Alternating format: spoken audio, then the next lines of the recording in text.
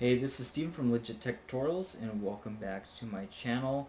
Uh, this is another video on my uh, development series. I guess this is more towards uh, game development. I don't know if I'll have it on product development, but this is a new season on my channel. Um, I wanted to get back to uh, making games. It's been maybe three years or so since I uh, was since I made games. Um, one of the main things was I wasn't uh, too happy about um, how long it took to develop games. And sure, you know, it's okay if, um, you know, I was trying to learn programming, right, at the same time, but, you know, I, I, I realized that um, I did programming on so many other things, and I still do so. Um, I still do a lot on Arduino which uh, um, is obviously 100% programming. There's not really any other way of doing it.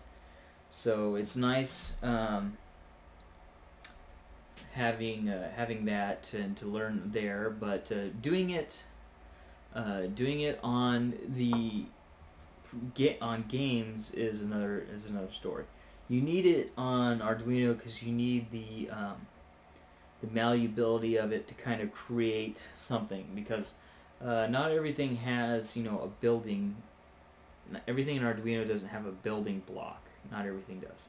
But you know the libraries do help with that but you need to come up with something that hooks together the libraries. So you need to add that logic. So not, not necessarily you know like you writing the programming to run the um, to uh, run the you know touchscreen and stuff, but uh, you know what are you going to do with the touchscreen, and that's where you need to program. So, but for games, I think it's a lot different. For games, I think that there are some basic building blocks that you use all the time that are really pretty annoying to keep writing over and over and over again. Um, that being said, I think that it's much funner to just maybe not deal so much with the programming and deal more with the creative aspects slash the logic aspects of it. Because I think that um, programming and then having you know logic based um, reasoning with the games is very close uh, very close together very similar. So trying to figure out how to put put the game together is very similar to programming the game together. You know, they're they're one of the same things. You know, you learn you learn an engine uh, as far as the con if it's a programming engine, right? Like Unity or Unreal or whatever. Obviously, those are very malleable engines. They're always changing. But when you're when you manipulate the code and stuff like that, once you've once you've used it enough and you've you know you know your way around all of the um, all of the um, the the the context. Uh, what is it? Uh,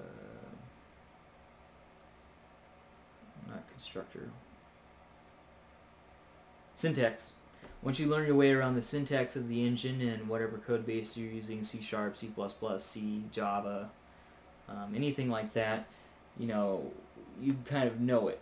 But um, you know the the thoughts between all those game between all those game engines every single language how you set up the code is something completely different right?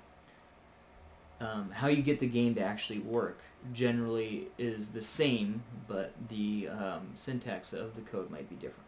So that's why on my channel I have like the um, learning how to program series where we do it uh, context I mean um, syntax independent. So you'll learn how to do that without knowing a programming language. But, uh, so you, you just learn the syntax for each programming language and adapt that. So what I'm getting to is I wanted to try doing some development with you guys on some other engines, uh, engines that are use something similar to like um, what's it called? Uh, Unreal Engine's uh, blueprints, which is basically a engine that uh, was basically a way of writing code. Sorry about that. I'm gonna wrap this wire up. Basically, it's a way of writing code that you don't have to know how to program, right? You basically drag and drop stuff. And originally I looked kind of down upon that because of the lack of control, and I think that it would take you longer to figure out the context than to um, than to actually you know uh, drag and drop. How much time you would save by just dragging and dropping things in. However, after messing with Unity and doing all those series that I showed you guys, I'm not quite sure about that. Uh, revelation anymore. Because as you saw in most of those videos with stuff like uh, the Alamo prison game, like you could spend you could spend a really long time just messing with the code and get literally nothing done. I would spend a whole half hour to add a very very small mechanic of the game. And in a production environment, not even just in in a learning environment, it's different. But if it if you were an actual game studio and you were developing stuff by yourself and it took you this long to develop it and you were, you know, doing it for money obviously. Let's just say that, that that's a given if you're, you know, a studio, you're obviously doing it for money. Um, that's definitely not the best idea to have something that takes so long. And it takes away from, especially if you're a one person one person group because then it takes away from the time that you actually are developing thinking of mechanics and and characters and music and graphics and all the other stuff you know messing with code that you broke which you forgot a semicolon somewhere and chasing errors and the and the um, and the in the grammar and stuff and even though it's like super basic code generally it's just kind of dealing with the code because it doesn't really help you much when you're writing the code. As you saw in there with, you know, stuff like uh, Euler, having like Eulers and all that crap, like it, it doesn't really help you with that. There's not really a, an automatic find and uh, things like that. So it doesn't really help you. And then setting up multiplayer is pretty tedious. Uh, it seemed like it seems like they, they did streamline it quite a bit, but there's not really like a a drag and drop multiplayer to to get started. And it kind of it kind of kills your kind of kills your um, your developing your your development spirit and your experimentation spirit that you go in and spend 30 minutes on this game and get absolutely nothing nothing done get like an extra one or two features added or maybe half a feature added in 30 minutes because you're there going from um, what is it called? You're going from class to class trying to figure out like, you know, how these things go together because it's not giving you the big picture at once. You're given a smaller portion of that picture and you have to figure out, you know, what's going on with that picture as it interacts with everything else. And to me, it just, it felt um, pretty crushing. That's eventually why I stopped doing it because it just wasn't fun anymore. You know, developing those, the games and, you know, sure learning programming was okay, but it's like, it's something I did already, and doing it over and over and over and over again got really repetitive. And also, you know, you get discouraged when you don't make so much headway after, you know, time where at the beginning when stuff was really easy, you know, easy aspects, you made a lot of headway.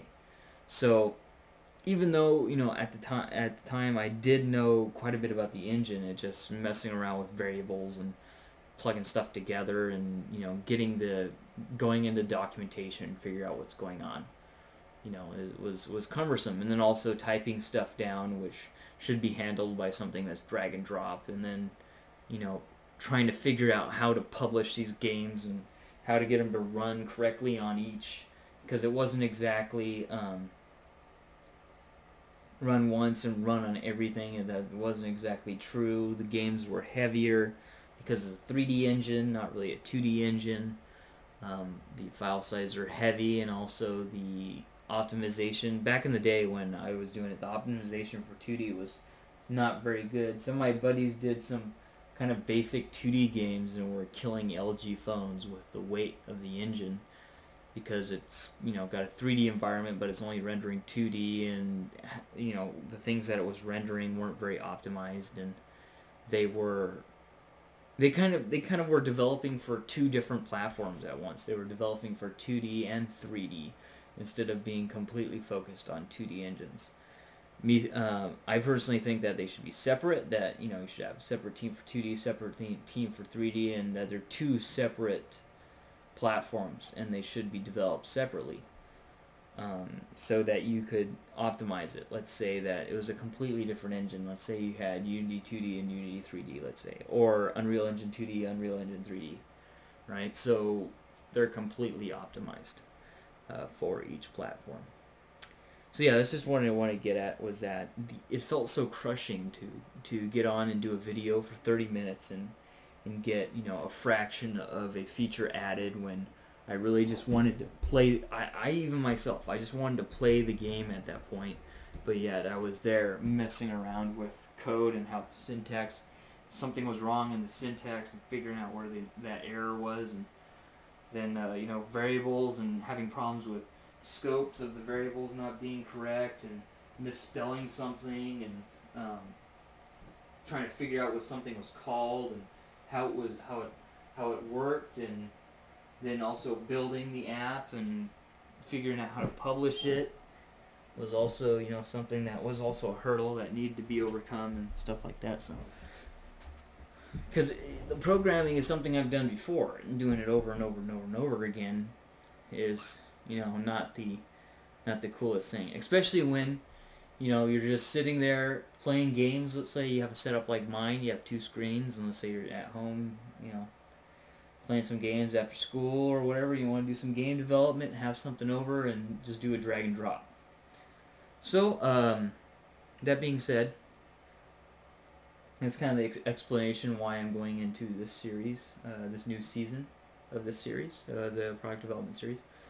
Um, we're going to be looking at an engine that has a drag and drop style feature that's similar to um, Unreal Engine. It's blueprints. It's called uh, an engine called Construct, and uh, these guys have been around for a long time. They have uh, Construct one, two, and three. Now they have this version, which is Construct.net, which is actually Construct three. And this guy runs in your browser, so you could technically develop on any platform. You could develop on your phone, on a tablet, on a on a uh, Chrome OS operating system uh, laptop so if you want to do game development, but you don't have a, lap, a full Windows laptop, so can't run uh, Unity, you could run a Construct um, .NET on your laptop from your Google Chrome browser, and it'll run fine. Or from your phone, or you have a tablet, iPad, whatever, you could run it from uh, whatever system that you have. And thus, if you wanted to try your game, you could technically load it in your phone on the web and try your game on your phone right? Theoretically speaking, I haven't tried that to where I go to this website and try it on my phone. So this is a Construct.net, which is Construct 3. Uh, Construct 2 used to have a desktop app, and eventually they will have a Construct 3 uh, desktop app. But they wanted to go to a, they wanted to make more money for the engine to increase development. So they went to a um, service, kind of like how um, Unity went to a service. So now it's per year payment. So we're, we're on the uh, free trial. Um, casual individual suitable testing, right? And then you have personal license, which is $100 a year for individuals and hobbyists, indie developers, hobbyists, individuals, and students. Not permitted any business organizations. Uh, runs offline. So something that I don't have yet, and I, I guess they have an app for that now. Um, manuals tutorials, custom flash sheet, uh, generate unlimited revenue, unlimited events, unlimited layers. We're going to talk about what those stuff are. Uh, benefits runs online, runs offline, manuals and tutorials, custom flash sheet, blah blah blah for business and organizations, $150 a year, and uh, this other one, uh, um, education organization. So you give them a call for that one. But the other reason why, as you see, royalty free, you just pay this for a year. But uh, back in Construct 2, it wasn't that way. Um, back in Construct 2, it was uh, pay once and you're done type thing. So you see here, store. um, buy Construct 2 now, you have this Construct 2 uh, $130 once and you're done for life. So that was uh, that was kind of how how they did it. And it looks like they only have one version now. Oh, here we go.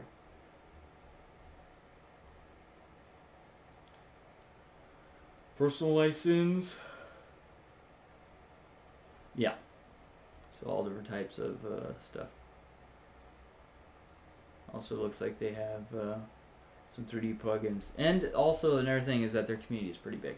But after all the ones I picked through, I did look at Construct 2 back in the day, and you know these guys. They th- this Construct 3 came out in May, I think, May or March. So it's it's a pretty brand new engine, um, brand new features, and uh, so I wanted to show you guys um, some of the things it has. Because in this video we're not going to do any development, we're just going to kind of talk about uh, what this is and what we're going to be doing.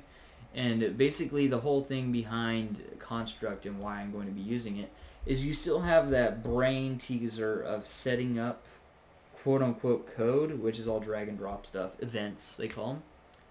But it's quicker as far as you don't need to do the writing. So you can do you could do like twice, I'm to say twice to three times the development. It feels like you could do twice to three times the development inside this app, inside inside the your browser as you can developing code between the time writing it, the time organizing it, the time checking the syntax, the time correcting errors in the syntax because this doesn't have any of those problems. Um, you'll be done. You you'll you'll have already developed. In the time that it takes you to get rid of any of those errors, you would have already developed another feature. So with that, you know, I could develop more of the stuff I like to do, which is, um, you know, characters, do, you know, pixel art and kind of the more more of the stuff that I'm not very good at. Programming, I'm not the best programmer in the world, but you know, I'm decent at it. While uh, all this other stuff with uh, developing games and doing art and doing story and doing sound is something that's not quite my uh, expertise. So it uses this kind of blueprint style where you have this is called the event sheet where you uh, basically drag and drop stuff on basically pre-built things. Um, doesn't have any languages you just drag and drop stuff which i mean i don't quite believe this. There is a complicated language. I mean everything even these like there's a learning curve to understanding what does what what you need here do you need a variable do you need expression what do you need to put here um, where do you need to put this how do you build how do you test how do you debug you know all, all that type of stuff. So no matter what engine you have they're all going to have some sort of learning curve. And this one I think is more of the build once run runs um, everywhere so it has online offline file saving um, PC and finish on your phone uh, you don't need to leave your creativity at home so tablet it's kind of refrigerator because now you got like smart refrigerators and stuff, smart toasters. So this also obviously has no platform um, dependence. Mac, Apple, um, Windows, Linux, or cell phone or iOS or whatever, and uh, basically make it once theoretically, uh, publish it to anything. So uh, web, Steam, iOS, Android, Windows, Mac, Linux, Windows. What?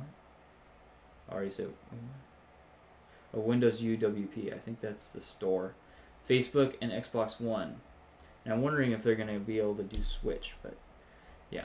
And again, this is as of right now. This is a, a um, 2D only engine.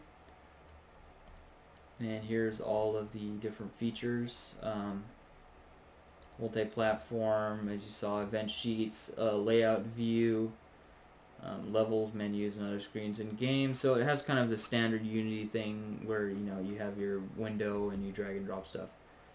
Um, very very quick to prototype stuff. I'm actually doing some other development for my cousin in Construct because uh, I believe that it will be the best for um, for his application. So I'm going to be doing quite a bit of different things in here. Also, another thing, it has a um, very quick for prototyping. You could actually do pixel art and painting inside of the app, inside inside of Construct, inside of your uh, Chrome browser. Video, audio effects, geolocation, obviously, so access to phone, you know, movement, networking, uh, drag and drop multiplayer, uh, either peer to peer or eventually you could connect to your own servers. You don't have to deal with all that stuff. Ajax, WebSocket. Now, I'm not saying that I won't ever, you know, get into larger games and then do it old school way of, you know, manually programming it, but I was going to look into this. Maybe do at least one game on this and see how that goes. Because I definitely think that this was going to be faster, but am I going to be okay with not using programming and learning that way? Offline support, optimizations, functions, data structure storage, debugger profile and add-on SDK. So also you can do programming for this guy. You can go into their SDK and uh, make pretty much anything, uh, and pretty much make all different types of add-ons and plugins. So here's an app build service. You could use uh, Cordova, I think.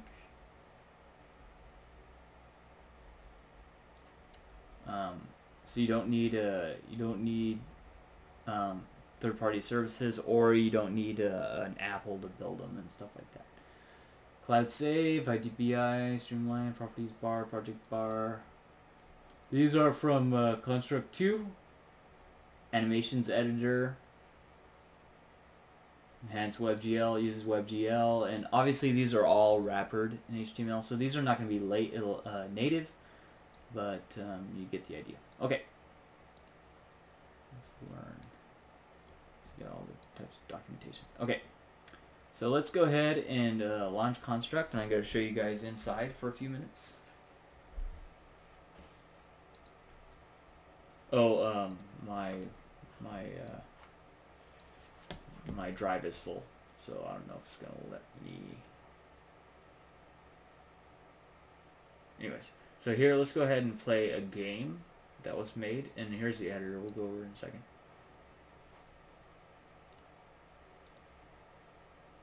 Let's make sure.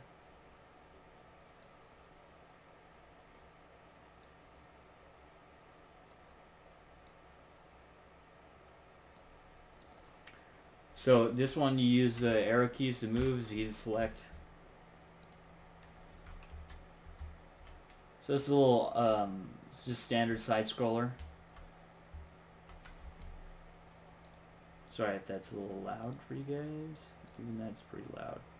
So I tried to drop the volume, but still a little loud. So it's very similar to the first game we started out with, with the Kirby, Kirby-like brown character side-scroller game. It's kind of very similar to Mario. You're this penguin-looking thing, and you have to connect, collect these bugs. You have to jump on the snails.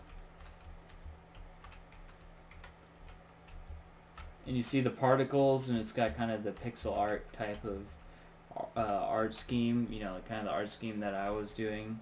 And this is all edited inside the editor, editor, editor, and then you have different tile maps and stuff like that. And audio and effects of these flowers drawing. All designed in uh, Construct. And obviously running really good on my computer. Um, even though on my computer I got a 1060 now.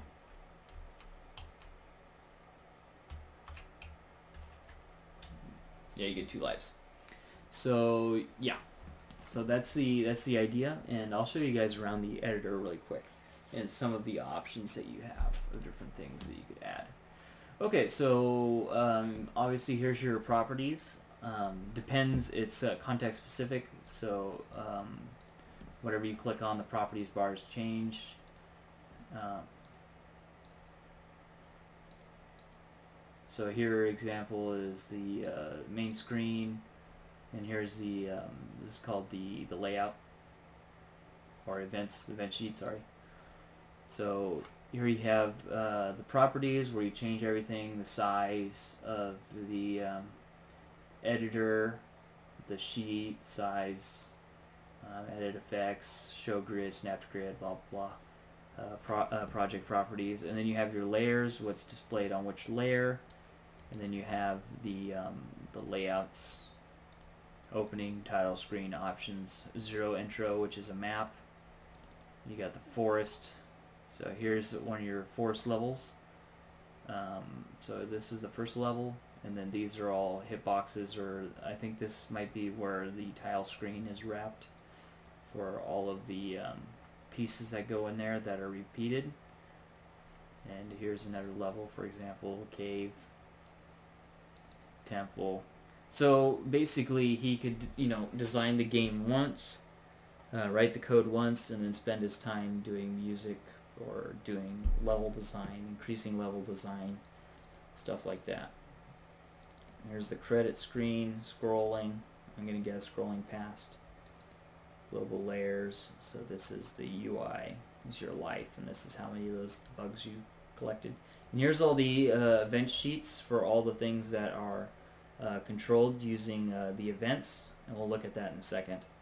And uh, here are some families of the different uh, things, enemies, solids, collision, jump through, sprite uh, fonts, HD HUD, the sprite font, different sounds, boulder, cannon, music, the different musics for each of the levels, videos, icons.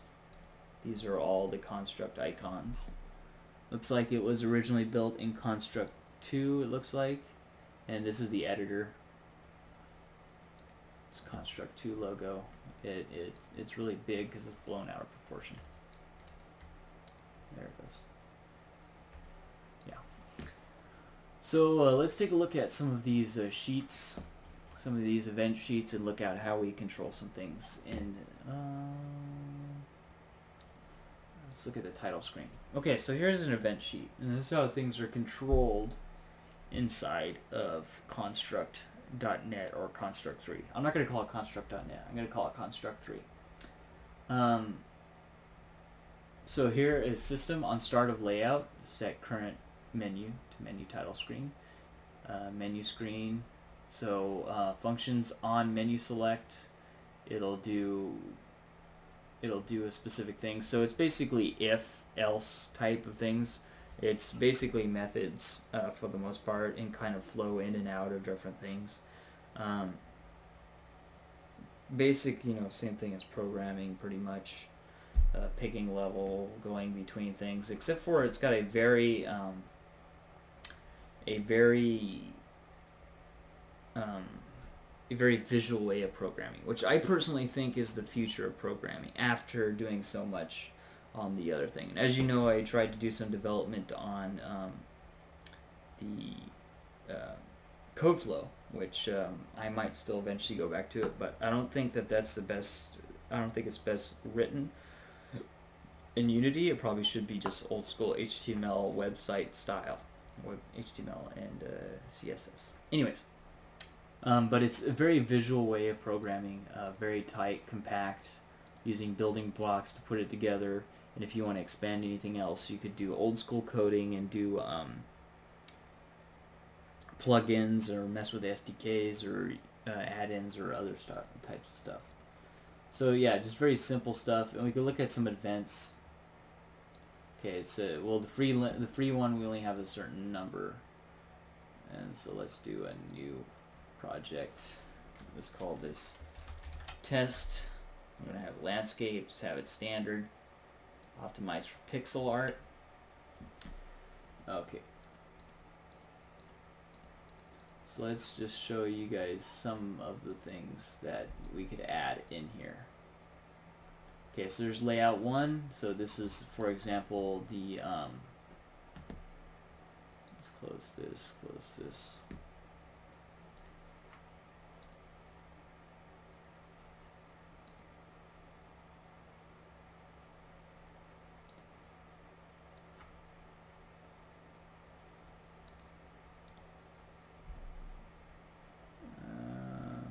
project. Okay, so now we're in the test. You see layout number one. Layout's basically what level you're on, and uh, what you see here in the gray is uh, basically your screen.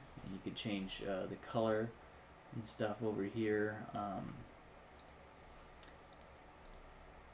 yeah, add effects, change the editor. stuff like that. And here's an event sheet. So if we click here, add event, we could do all different types of things. So this is the system condition is between angles. So we have angles, uh, compare two values. So basic uh, comparison conditions, um, different layers, loops, for, while, each, repeat, save and loads, um, special con conditions else, is on mobile device, is on preview or is on platform, compare time every blank seconds. So lots of different things that you could pick. And those are just on partic particular things.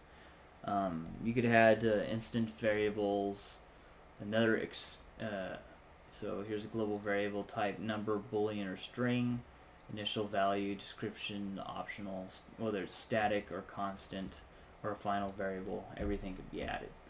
Okay, so let's look at some of the stuff you could add in layout. So we could hit insert. So this is uh, right click and hit insert. We could add arrays, dictionaries, local storage, store data locally on the user's device, XML layout, files. Um, so here's some basic form controls, file chooser, button, list, prog progress bar, slider bar, text input. And then you have the nine patch, which are basically um, text boxes that have that the ends are cut off and it has a center. So basically what it will do is it will scale the center and then add these corners on it. So this technically could be uh, infinite size. So create resizable box with an image border by splitting an image into nine tiles. Uh, function, particle effects, um, shadow light, sprites. So sprites is where we'll go into look at the um, sprite editor or yeah, the sprite editor slash animation editor, which is really cool. sprite font, using a sprite sheet, so we could eh, um, bring in a sprite sheet, which is basically a font. So you bring in kind of like a like a like a font file and have that be a sprite sheet and cut it out to where each of the letters are uh, a, um, a, a sprite. Or you could have text, tiled background, um, are faster than tiling sprites, or a tile map, tile-based level design. So that's going to be very, very important for a lot of the games that I want to develop, so it's really nice that it has that option. So basically, for example, your whole entire map, let's say like you saw on the um, Kiwi Story, which was the game I played in here, is that the whole entire map is made up by, let's say, one by one squares. So by doing that, you could have a sprite sheet just pick different sprites and then assign those a name and then just drag and drop them onto your level and create levels very quickly with those predetermined sprite sheets. Now that's very important to a lot of the games that I want to build because it's very easy to design new uh, uh, new maps by just dragging and dropping those items in there. And then for some inputs we have gamepad, keyboard, mouse, touch, pretty much the basic things that you'll need sure you could also get some stuff from the platform specific like a phone and stuff like that. Then we have audio geolocation off of uh, phones, longitude, latitude, user media, get media from a from the user using a camera or microphone device including speaker recognitions and synthesis, different videos, play, vi play back a video in the game, um, also, again, this, like I said, this has only been out since May, so they're going to be adding a lot of more features in here. I think it's still technically in beta. Um, monetization, so you could add uh, ads, Cordova and iOS and Android, uh, mobile IAP, handle in-app purchases for Cordova on iOS and Android, Pub Center, show an ad from Microsoft Pub Center in a Windows Store app. Then we could have in specific platforms like Facebook, Games uh, Access Game Center on iOS with Cordova, Google Play Store, Access Google Play Game Services. Um,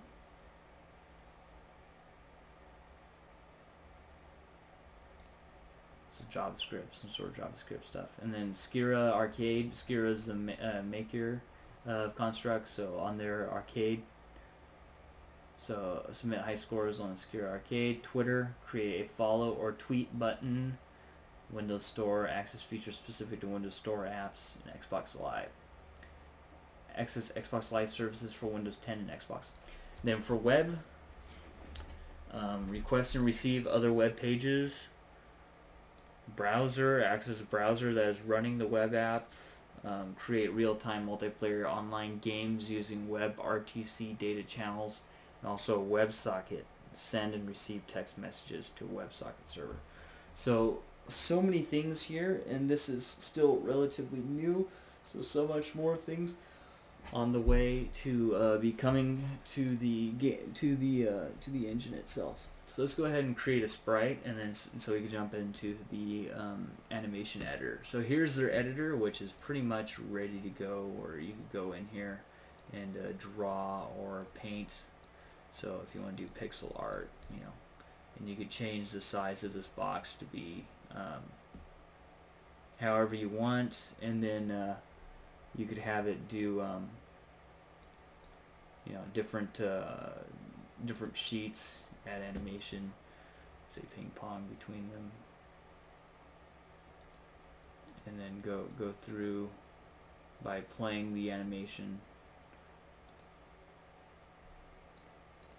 between these two so you could go in here and create animations like character walking like in Kiwi Story or jumping or fighting or shooting or um, bullet animations or death animations or uh, respawning animations or um, special effects or whatever you want. All built into the browser to be done in the browser. So very very powerful um, software. I think. I think it could be even more powerful, but with uh, more things added here.